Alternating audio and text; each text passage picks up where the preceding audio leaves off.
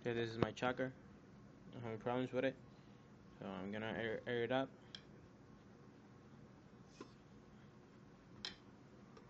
I have like